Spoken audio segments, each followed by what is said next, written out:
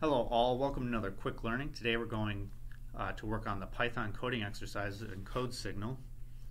Um, so if you're joining this in the middle of the playlist, I'll go ahead and put a link down below so you can start from the first video if you wish. Otherwise I'm going to go ahead and get started. So I'm going to the arcade and I'm going to Python.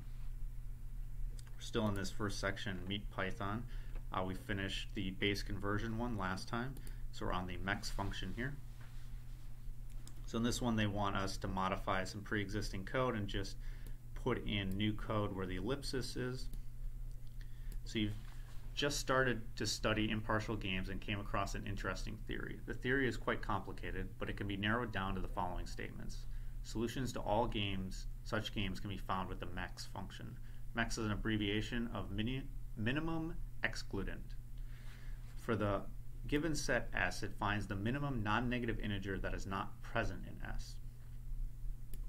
You don't yet know how to implement such a function efficiently, so would like to create a simplified version.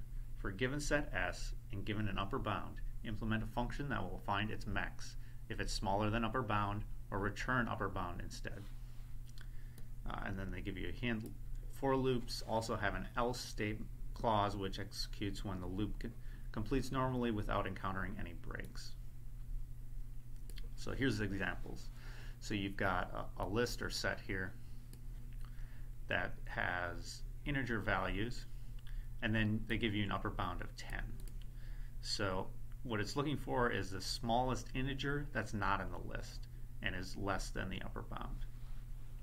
So 1, 2, 3, 4 are there, but you can see 5 is not in the list, so it should return 5. Now, if the upper bound is 3, then uh, it's the same list, uh, but since 5 is the first missing integer value, it's going to return 3 because 5 is greater than the upper bound.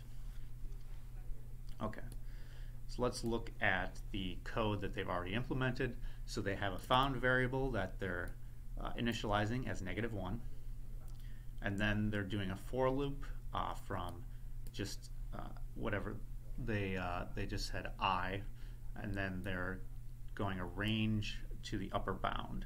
So if the upper bound is five, then sorry, if the upper bound is five, then it will be zero, one, two, three, four. That will be in in a list that it will iterate through, and so it'll go i equals zero, i equals one, i equals two, etc. And then it will look if I is not in S, S is the list uh, of values, then it's going to put found equal to I. So it's going to return uh, found as the first uh, integer value that it finds that's not in the list. And break just means it's going to exit out of this for loop, and then it's going to return found.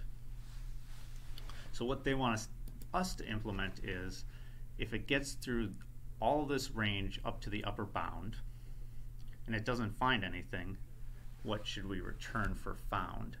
Uh, it shouldn't be negative 1 because what they're saying is here, implement a function that'll find its mex if it's smaller than the upper bound.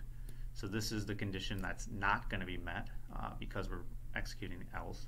So instead, they want to return the upper bound. So we're going to set found equal to upper bound.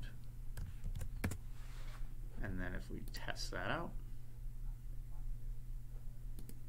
oh, because I put this comment in here, they don't like it. Okay. So you can see that gives us the correct answer. All right, I hope you guys were able to follow along with that and you've joined me for future videos. Thank you very much.